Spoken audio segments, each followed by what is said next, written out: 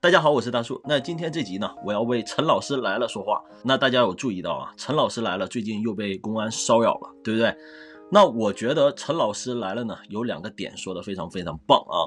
那第一个就是他为什么敢露脸来做这个 YouTube，就是因为他不想回国了，看到了我们的中国人被红社会已经改造的不再像人了，而这个国家下的公安不抓坏人。相反，天天却把所有的时间用在怎么整人，然后抓境外势力上，啊，所以呢，我们才不想回国，才要出来做这么一件事情。第二个呢，就是我经常说红社会的，无论是好事还是坏事，他只要一做这个事情，保证搞砸，保证就成为坏事。为什么呢？因为他们要党性没人性，这个就是最主要的原因。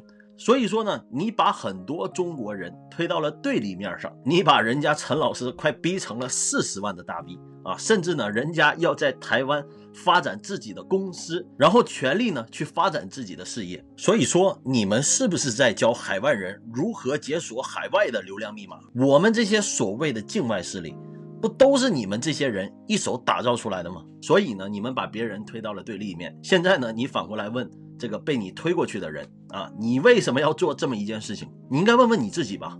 你们为什么要做这件事情？你们是不是没事儿做？还是你们觉得，如果我把某某某推到了对立面，他成为了大 V 之后，我再去做这件事情的时候，我能从中央拿到更多的钱？所以说，大陆警察在逻辑上就有问题，他怎么能抓犯人呢？所以呢，他把好人抓起来，这个就是理所当然的，因为他们好坏不分嘛。所以才成为了今天让全世界人笑话的这么一个国度。所以呢，你们千万不要问为什么我们这帮人在海外来揭露中国的乱象。其实我们在做的事情是给中国人加分的，而是你们一直在不断的抹黑中国，所以我们才要做这么一件事情。其实你们应该来感谢我们。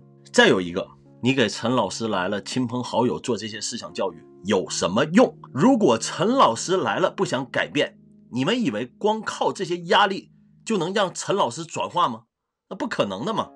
所以说，现在陈老师说自己现在非常恨你们，这个才是真正的结果。而且谁都知道，在国内有一群割零件的人，而且警察、医院、政府各个部门都有和这些相关联的事情。你说你们现在让我们回国，可以对我们宽大处理？你觉得我们有病还是你们有病？我回国之后，我面临这么多风险，那我为什么要回国呢？你们以为通过这些手段，你能减少这个人在海外乱说话？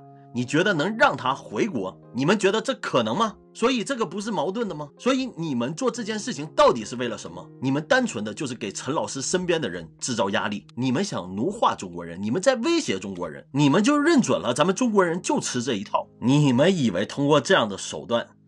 就能让陈老师闭嘴，但是你要想一想，如果陈老师来了，今天没有四十多万的粉丝，他就是案板上的鱼肉，任你们宰割了。所以呢，这里呢，我也想跟这些做思想工作的警察了说一件事情：大家呢都是凭良心在做这些事情。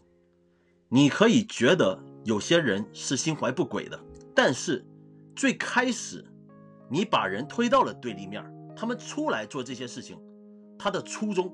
就不是因为钱在做这么一件事情，所以呢，是你们让这些人成为了社会上的成功人士，是你们逼大家找到了自己的一条出路。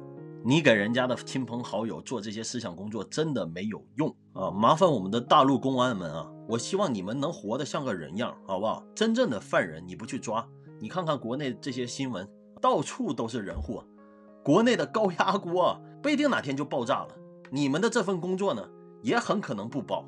你看看我们的习大大被人骂成什么样子，都自身难保，不一定哪天他的人头就要落地的。你以为你们这样做就能免受此劫吗？你们再换位想想，你们知道我们的脸，我们是在明处。你们只要对这些人的亲朋好友做思想教育，你们就得把脸露出来，对不对？你们有警号吧？你们有姓名地址吧？你们有家庭儿女吧？你凭什么觉得你们就不会遭受我们同样面临的一切问题呢？如果我们采取把你们曝光出来，你觉得你们是无辜呢，还是你觉得你们是受害者呢？假如你们真的就是在完成这个工作，就完成这么一件事情，那么你就做做样子，谁知道呢？你们也知道，我们中国人在很多事情上都是这个概念，这件事情跟我没关系，我干嘛要那么上心？你们就看看啊，这些路边突然倒下的这些大爷大妈们，为什么没人敢扶？所以你们过去骚扰人家，人家最多就是骂两天陈老师来了而已，还能怎么个样？他要活着，他要生活的这件事情，难道会成为他天天的阴影吗？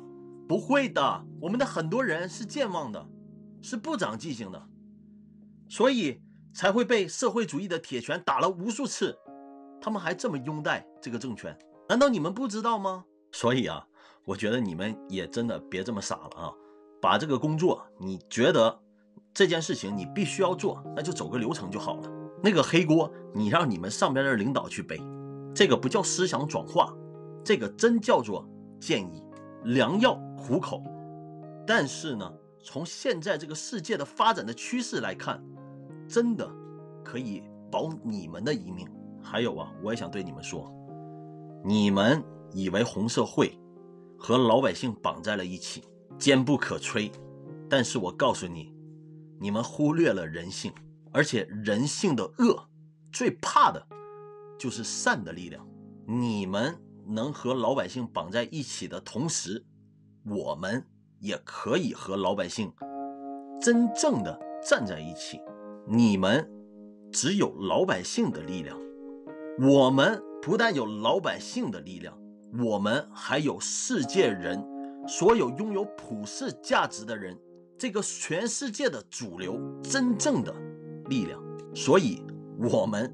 是真正的坚不可摧。好，那今天这个视频呢，就和大家分享到这里了。我们下个视频见，拜拜。